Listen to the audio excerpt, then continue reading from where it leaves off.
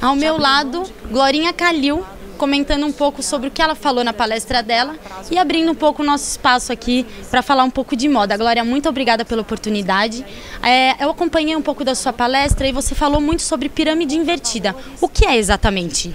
É, é que o que eu digo é assim: antigamente a moda era uma moda autoritária e elitista. Ela funcionava como uma pirâmide que tinha a alta costura aqui em cima, depois tinha o prêt-à-porter e depois tinha a rua.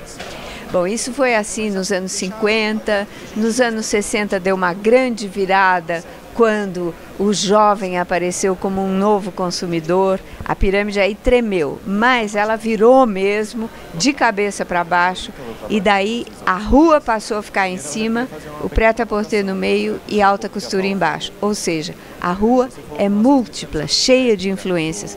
Por isso a moda não é mais uma só como ela foi, mas muitas, porque ela está lá para representar todas as categorias da rua. E, e essa virada se deu por conta da da globalização e da internet, que pulverizou o mundo da moda. Antes as pessoas elas tinham que ir até um lugar para conhecer a moda. Agora não, agora ela entra na internet e tem acesso a qualquer lugar do mundo, inclusive. Na sua opinião, de que forma o e-commerce aproximou as pessoas mais da moda? Olha, eu acho que mudou a, o e-commerce e a internet de uma maneira geral mudaram não só na questão da moda, mas tudo, não é? Uh, eu me lembro que quando eu fazia palestras antigamente, que eu ia para cidades menores ou capitais mais distantes do polo, São Paulo e Rio, as pessoas falavam assim: ah, mas aqui, aqui a gente está longe do centro da moda, como é que está a moda lá?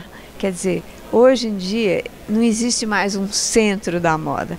Hoje em dia todos os lugares são centro. As pessoas hoje têm o mesmo acesso à informação do que qualquer lugar do mundo.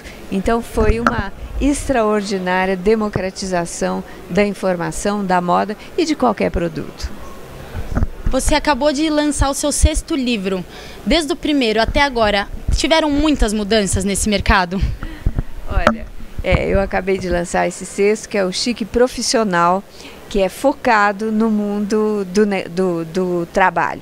É uma panorâmica em como está hoje o mundo do trabalho, que teve muitas mudanças ultimamente. Como, aliás, na moda, como, aliás, em tudo, não é?